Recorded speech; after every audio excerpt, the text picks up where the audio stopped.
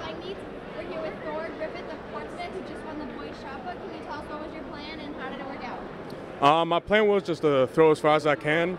I was working on my form this week, so paid off.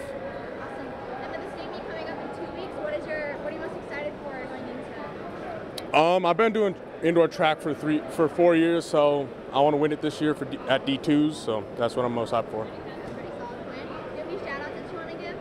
I guess I'm gonna shout out my teammate, my teammates, and then my coaches. So All right. Well, congrats, Lauren. Good luck with the rest of your mm. season. thank you, appreciate it.